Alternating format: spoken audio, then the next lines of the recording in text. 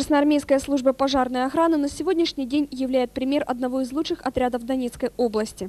Сама профессия пожарного вызывает уважение не только потому, что ее люди в силу профессионального долга и зова души тушат пожары, но и спасают человеческие жизни, материальные ценности.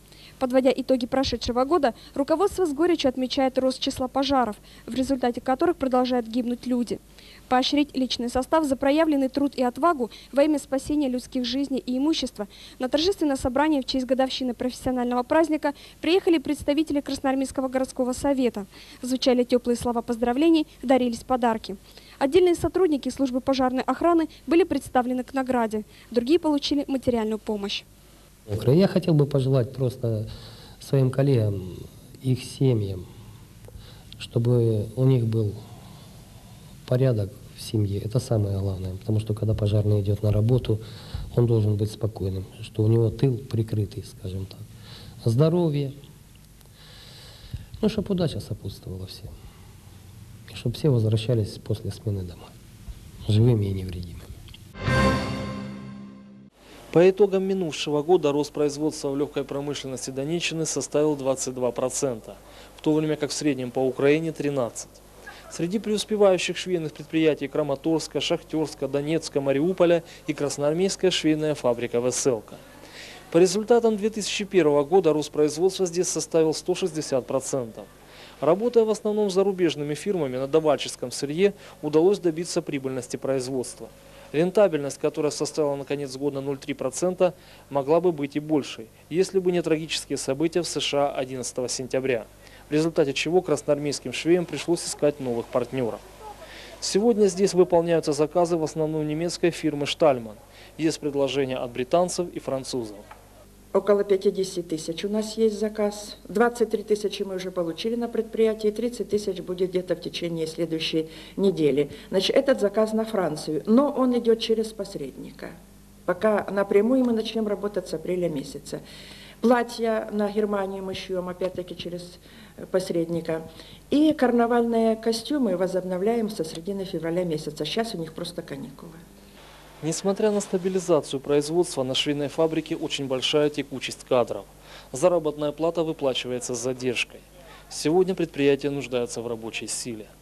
По словам Лилии Глебской, фабрика вынуждена работать на не всегда выгодных условиях с американскими и европейскими партнерами по причине невозможности вернуться на внутренний рынок из-за высокой себестоимости изделий и высоких ставок налогообложения наша продукция пока не будет пользоваться таким большим спросом, потому что она будет дорогая.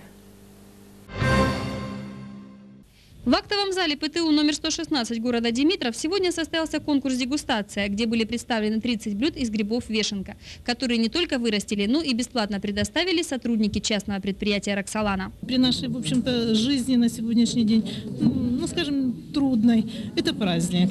И я, в общем-то, благодарна, очень благодарна учащимся, э, преподавательскому составу училища за то, что они так откликнулись с таким интересом, с таким э, ну, энтузиазмом, скажем так, они занимались этим вопросом. Такой конкурс, где каждый мог не только попробовать любое блюдо, но и получить его рецепт, интересен и полезен одновременно. Учащиеся училища сегодня узнали о вкусовых качествах и кулинарных достоинствах вешенки, что значительно расширило их знания в области приготовления грибных блюд. Люди, э, многие, э, не знают еще и питательную ценность грибов, а мы будем говорить в процессе работы об этом. Очень много блюд можно приготовить и самое главное, что это экологически чистый продукт, из которого, которого можно не бояться и приготовить любые блюда. В конце конкурса от частного предприятия «Роксолана» были вручены подарки победителям и поощрительные призы участникам. «Роксолана» сегодня доказала всем, что она не только единственное в регионе предприятие, которое выращивает экологически чистые грибы вешенка, но и способна на проведение столь интересных и познавательных мероприятий. Татьянин день. Это неофициальный студенческий праздник, история которого уходит в далекое прошлое. Дело в том, что 12 января по старому стилю, а ныне 25 1755 года императрица Елизавета Петровна подписала указ об учреждении Московского университета. И совершилось это в день памяти святой мученицы Татьяны. Этот день среди студентов особо почитаем и любим. Для меня этот праздник вдвойне. Я Татьяна и День студента – Двойной праздник. Праздник для всех. Как раз он в конце сессии, настроение такое. Пожалуй, всем, кому довелось побывать в качестве студента, с ностальгией вспоминают о своих годах. Но необыкновенность студенческой жизни понимают уже после окончания учебного заведения. А для нынешних студентов все это и прелести общаги, и вредно преподаватель, и институт, экзамены, сессия – суровые будни. Так легко ли быть студентом? Во-первых, начнем с того, что нелегко им стать. А когда, наконец, все испытания пройдены и заветная цель достигнута, вы студент, странно, но оказывается, что это не так уж и весело. Оказывается, что надо ходить на какие-то лекции, готовиться к семинарам, сдавать сессию. А стипендия, на которую вы так надеялись, оказывается таких уж небольших размеров, что порой даже от кассы до дома не доносится, а тает где-то по дороге. Спрашивается, если так тяжело студенческое бремя, то зачем же добровольно лезть в эту петлю? Мы поинтересовались у студентов педагогического училища.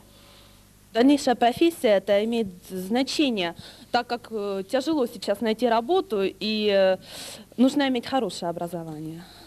Если ты хочешь учиться, и если у тебя есть возможности, то легко.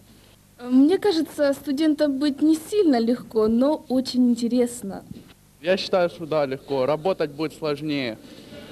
Серьезно. Лично мне нравится и учиться, и вся эта студенческая жизнь. Да, про- она веселая.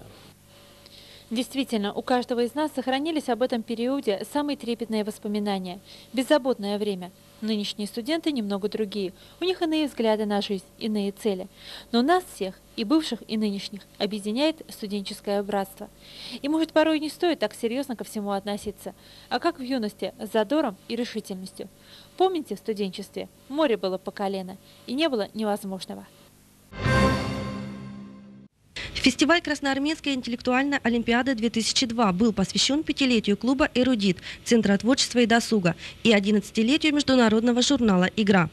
Юные интеллектуалы из Воронежа, Таганрога, Донецка, Мариуполя, Красноармейска, Родинская и многих других городов собрались вместе, чтобы побороться за звание самого умного, находчивого и сообразительного. Генеральным спонсором фестиваля выступила угольная компания «Шахта Краснолиманская», которая представила для участия две команды – магистры и виртуозы. Ребята достойно отстояли честь своего города и были награждены поощрительными призами.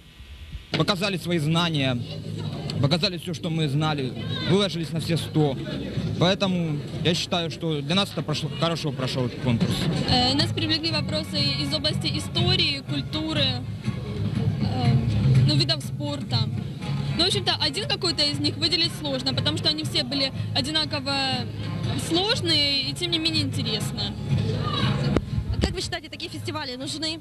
Вы будете принимать участие дальше в таких фестивалях? Ну, Конечно, нужны. Э, Мы много узнаем нового, общаемся с новыми людьми, приобретаем новых друзей.